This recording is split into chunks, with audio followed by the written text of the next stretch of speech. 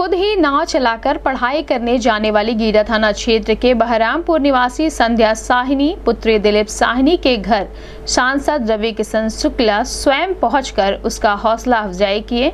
आपको बता दें कि संध्या साहनी बाढ़ आने की वजह से अपने घर से खुद ही नाव चलाकर विद्यालय जाती हैं, क्योंकि उनका घर पानी में डूब गया है और परिवार छत पर रह रहा है, जिससे वह घर से स्कूल नाव चलाकर स्कूल जाती हैं। Sandhya Sahni AD inter college के 11वीं की छात्रा हैं तथा कुछ दिनों से सोशल मीडिया पर नाव चलाकर स्कूल जाते समय फ़ोटो और वीडियो वायरल हो रहा था। इस वायरल वीडियो को देख करके तमाम राजनीतिक पार्टियों ने संध्या के घर फ़ोन करके उसका उत्साह वर्धन किया था। शुक्रवार को सदर सांसद रवि किशन ने एनडीआरएफ की टीम के साथ संध्या साहनी के घर पहुंचकर संध्या का उत्साहवर्धन किया और कहा कि संध्या साहनी को हॉस्टल में भर्ती करवाएँगे तथा उसके पढ़ाई का पूरा खर्चा उठाएँगे। इस अवसर पर बहरामपुर के प्रधान सत्यम शाहनी चरगांव ब्लॉक प्रमुख प्रतिनिधि रणविजय सिंह सहित अन्य लोग मौजूद रहे। इस संबंध में गोरखपुर न्यूज़ से बात करते हुए सदर सांसद रवि किशन शुक्ला ने कहा।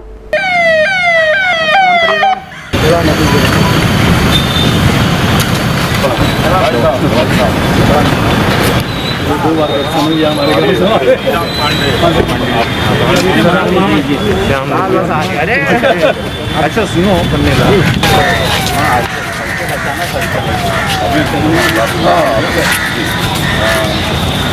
हमारे ग्राम सभा की महिलाएँ सांसद जी हैं सांसद जी। लड़की का भी सभी गया सब अपने सब सब सेवा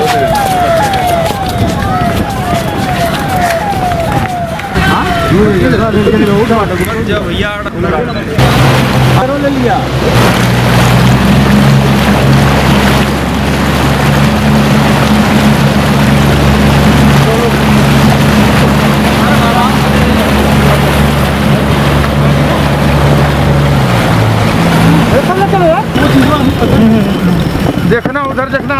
लड़े ना देख लिए हाँ हाँ इसी गैलरी में धीरे धीरे धीरे धीरे गैलरी में ले चलो उतर करके राजन राघो वो पकड़ लेना है अपनी तरफ़ कम से कम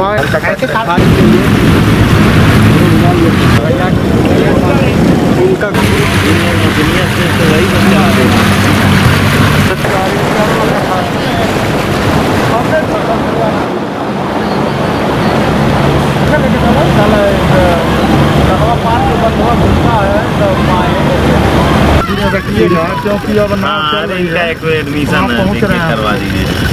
तो सभी लोगों को वहीं रस्सी पकड़ लीजिए। निकाल जैकेट खोलिए भाई। कहाँ है? बिटिया कहाँ बिटिया। है। वहाँ शेरनी। शेरनी हो शेरनी। तुम शेरनी हो।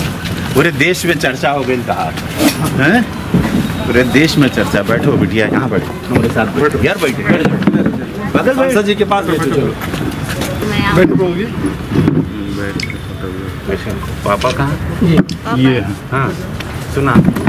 एगो एक तो चीज़ हमारे पास दिमाग में ये आई कि कि बच्ची को स्टिल एक तो अगर कहो तो हम शहर में अगर आप क्योंकि पिता हैं शहर में और बच्ची आप भी शहर में इनको एक हॉस्टल करवा देते हैं। अब हम अपने पैसा से खर्चा से और वहाँ शहर में स्कूल करवा देंगे तो कैसे रहेगा? बहुत बढ़िया रहेगा। ठीक रहेगा? एडी में हॉस्टल है। कोई लड़की वाला हॉस्टल जी। हाँ? में हॉस्टल नहीं गवर्नमेंट कॉलेज है। गवर्नमेंट कॉलेज है वो। पूरा ज़िम्मेदारी आप कर दूँ हाँ? ये आप ले रहे हैं ज़िम्मेदारी? डन पक्का? ओके ये ज़िम्मेदारी अभी आपकी है हॉस्टल में। भैया इनका नंबर ले लो। आप हॉस्टल पता करिए। चला देखा बिटिया का नाम पूरे देश में होता है। चला इनके हम सोचत रहे कि एगो हॉस्टल दिलवा दें। तो वह रहे बच्ची वह पढ़ी पढ़ के जब ही चाहते हैं बेटी बचाओ बेटी पढ़ाओ। तो बेटी बचाओ बेटी पढ़ाओ वाला जो हमारे प्रधानमंत्री जी का इसको हम लोग को सार्थक करना है। बेटा लेकिन पढ़ना है। आज तुम्हारा नाम इतना हो गया है ना अब उसको दिखा देना। पूरे देश को दिखा देना कि एक एक बच्ची यहाँ रह के भी नाव चला के स्कूल जाने वाली बच्ची पढ़ के अपने देश में नाम करेगी एक बड़ी अफसर बनेगी। और ये बनाएगा तुम्हारा बड़ा भाई। जय हो हर हर महादेव। चले हम हाँ बच्ची? जय।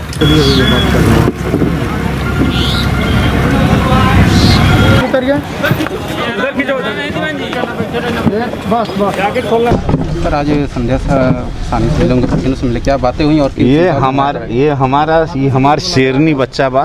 ये स- बि- निषाद परिवार के लिए, एक मल्लाह परिवार के लिए, एक एक भगवान केवट के परिवार के लिए, ये बहुत बड़ी एक देवी के स्वरूप में लड़की है। और इसको मैं देवी के रूप में लेता हूँ और इनके माता पिता और आज ये बच्ची को हम वादा किए थे बिटिया को कि हम आइब घरे और इनके घर आए हैं। और इनको अब इनकी पढ़ाई की, इनको इन्होंने एक ही मांग की कि भैया हमके रेलवे में नौकरी करवा दा। तो हम बोले, पढ़ लीजिए आप। तोहरा कि डेफिनेटली हम नौकरी करवा दें।